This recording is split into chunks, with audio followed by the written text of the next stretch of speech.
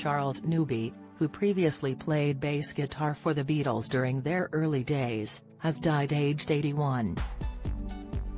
The 81-year-old was a member of John Lennon's first band The Quarrymen following his short stint with the Beatles and is thought to have died early on Tuesday morning. The cause of death is not yet known reports The Mirror. Tributes for the late musician have flooded in online as fans paid respects to the Beatles' left-hand bassist. It's with great sadness to hear about the passing of Charles Newby, Cavern Club Liverpool, where the Beatles started their career, wrote on Facebook.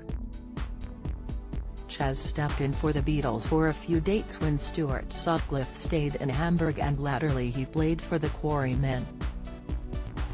Interestingly, he was also the first left-handed bass guitarist in the Beatles. R.I.P. Charles Newby thoughts and well wishes from everybody at the Cavern Club.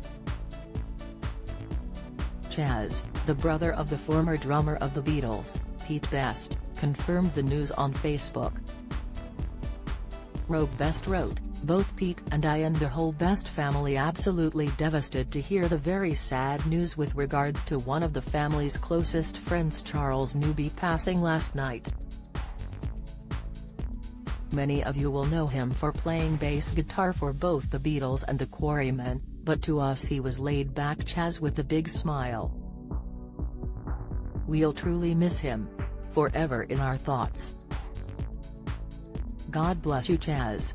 A Beatles historian also paid tribute and said, absolutely gutted to learn from Roag Best that Charles Newby, the Beatles' first left-handed bass player, and friend of the Best family for nearly 70 years has passed away.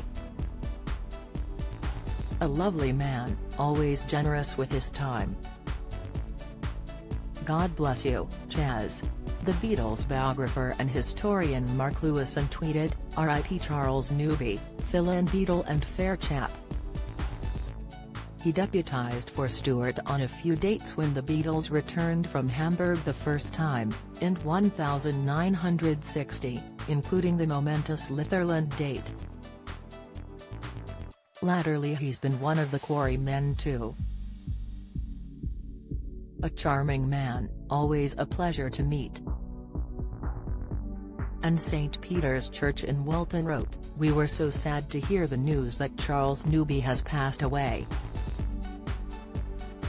Everything at St. Peter's sends our love, thoughts and prayers to Haas family and friends. Thanks, Chas for the music, for your kindness and generosity, and for all the joy and happiness you brought to so many people. May you rest in peace. He played with Paul McCartney, George Harrison, Ringo Starr and John for a few gigs in 1960. John wanted him to join them for a tour of West Germany but he opted to return to university. Chas previously joked his claim to fame was that he was the first left-handed bass player in the Beatles.